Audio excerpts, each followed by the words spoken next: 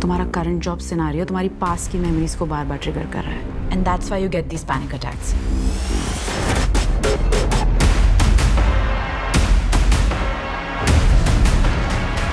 department नहीं छोड़ सकता।